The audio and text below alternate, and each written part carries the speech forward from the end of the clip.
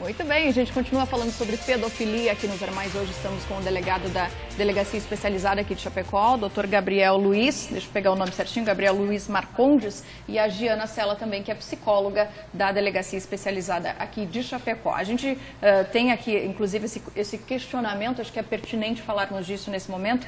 Como identificar se a criança está sendo abusada ou aliciada?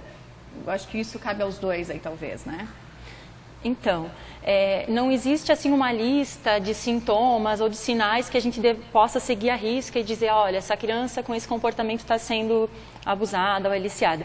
Mas, mas é importante a gente se atentar às mudanças de comportamento, ao padrão de comportamento.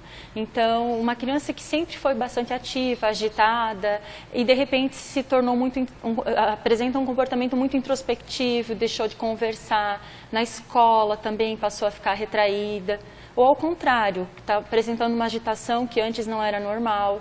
É, tem que ser observado. Um comportamento regressivo, por exemplo, a criança é, voltou a chupar o dedo, crianças menores, né? Não, faz, é, não fazia mais xixi na cama e de repente voltou com esse comportamento, que é a enurese é, entre outros, assim. Então, essa, essas modificações, elas precisam ser observadas. Os pais têm que olhar o que está acontecendo. Não quer dizer que seja um abuso, mas quer dizer que alguma coisa aqui não está muito bem e a gente precisa observar. Uhum. Outra coisa que eu acho bem pontual e bem importante é quando a criança, especialmente os menores, começam a, a, a falar coisas que não são adequadas para a idade, uhum. usando termos que elas não, não conhecem ou fazendo gestos, enfim. É, pode ser que ela tenha tido acesso a conteúdos que não são adequados, Sim. através de vídeos ou porque alguém está falando ou fazendo isso com ela. Uhum. Então, que seja verificado, né? Uhum. Penso que com atenção os pais vão conseguir conhecer. Os cuidadores eles sabem como seus seus filhos, as crianças, os adolescentes eles se comportam. Uhum. Então essa diferença deve ser observada. Entendo. A gente tem aqui outra pergunta: se a criança é ouvida pelo delegado, ela coloca aqui, mas enfim, se, se de alguma maneira a, a, polícia ouve a criança num caso de, de denúncia, né, talvez essa presença possa incomodar ou assustar a criança ou um adolescente pelo fato de ser um homem. Como é que vocês lidam com isso? Sim, é, quando a criança vítima de abuso comparece à nossa delegacia, o atendimento é feito pela psicóloga policial, que tem toda uma expertise a mais para lidar com crianças nesse tipo de situação e o delegado não tem, pelo menos a princípio, esse contato direto com a criança que é feito pela psicóloga policial. Uhum. Até porque eh, estar numa delegacia já é um ambiente uhum. complicado, né? Sim. né? Acabou de passar Exato. por uma situação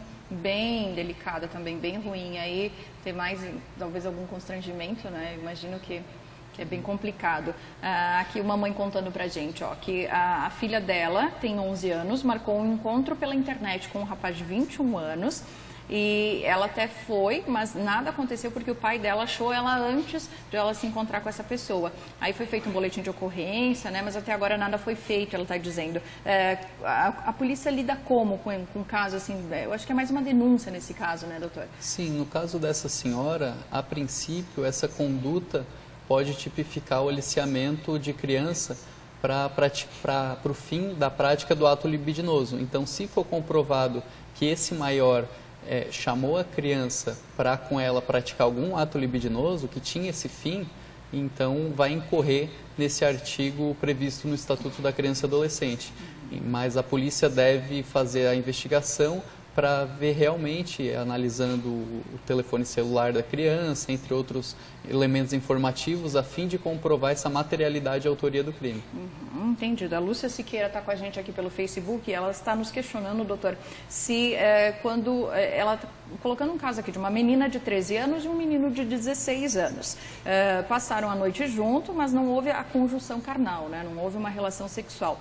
É, enfim, é, mesmo a, a, o menino sendo menor, a menina consentindo essa relação, isso se considera um crime? Como é isso? Sim, o crime narrado é, por essa senhora é o de estupro de vulnerável porque essa menina tinha menos de 14 anos. Uhum. Tanto menina quanto menino, não importa teve, tem menos de 14 anos, embora a relação sexual seja consentida, é o, incorre no crime de estupro de vulnerável. E mesmo a outra, o outro jovem, adolescente, tendo 16 anos, ele vai incorrer não em crime, porque o Estatuto da Criança e do Adolescente chama de ato infracional análogo, então vai incorrer por ato infracional análogo ao crime de estupro de vulnerável, estando sujeito às disposições do Estatuto da Criança e Adolescente. Muito bem, essa juventude de hoje em dia não é fácil, né, Luciana? Mas a gente tem que achar um jeitinho aí de de conseguir lidar com essas situações. Olha, a Anne do bairro Jardim América, ela está perguntando aqui, Giana, acho que cabe mais para ti, sobre a, a, recuperação do agressor. Uh, depois do tempo de prisão, uh, um tratamento, não sei, uh, existe essa possibilidade de uma cura, vamos dizer assim para ser mais simples, e essa pessoa se regenerar, voltar para a sociedade, não cometer mais crime? Assim, como eu falei contigo antes, a, a, são duas coisas diferentes. O caso do pedófilo, ele tem uma doença, como o doutor também já disse, que é incurável. Mas existem tratamentos que podem ajudá-lo a lidar com isso e conter esse instinto e, conter, e conter essa prática, né? Então é possível sim, mas é um tratamento que exige acompanhamento psicológico, psiquiátrico, é, é exige também determinação por parte desse é, dessa pessoa, né, de buscar ajuda. Nos casos de, de, abuso sexual cometido por pessoas que não têm pedofilia, sim, é inclusive indicado que passem por tratamentos psicológicos, psiquiátricos, se for o caso, porque alguma coisa tem que ser feita, né? Uhum. Esse comportamento ele não pode se repetir. Então é, é, importante sim que a gente pense nessas ações. Uhum.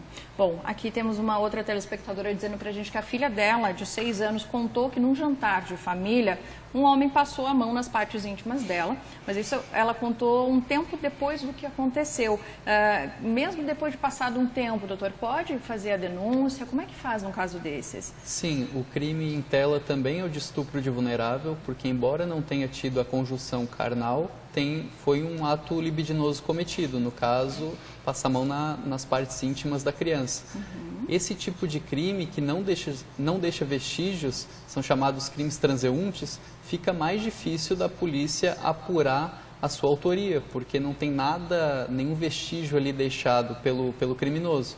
Mas provas testemunhais, por exemplo, ou a versão da criança também pesa muito, nesse caso que também vai ser feito atendimento pela psicóloga policial, podem ser elementos informativos a serem corroborados entre si para poder numa futura condenação desse criminoso. Uhum. Até uma outra pergunta que a gente tem aqui, como provar um aliciamento? Como faz?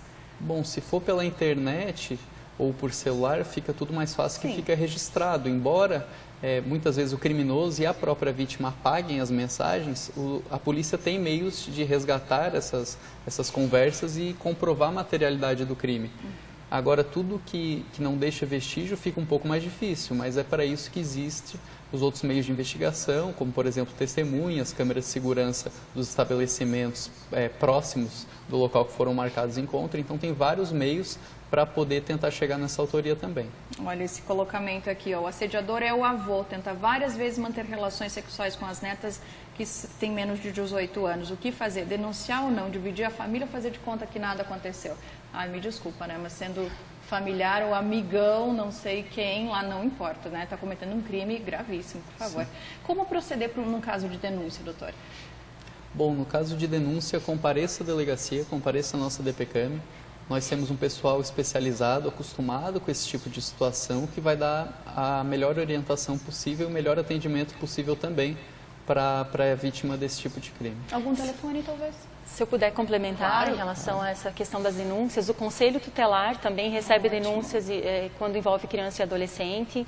É, existe também o canal, de, o canal é, via telefone, que é o Disque 100, que ele recebe denúncias de forma anônima. Então, muitas pessoas não querem se expor, não querem ir até a delegacia e utilizam esse canal de denúncia. Então, é importante que as pessoas informem o nome das vítimas, suposto autor deem um endereço para facilitar depois que a gente consiga chegar até eles, localizar, uhum. mas é um canal bem importante também, uhum. né, que a gente uhum. deve destacar, e diz que sim. Claro que sim, claro que sim.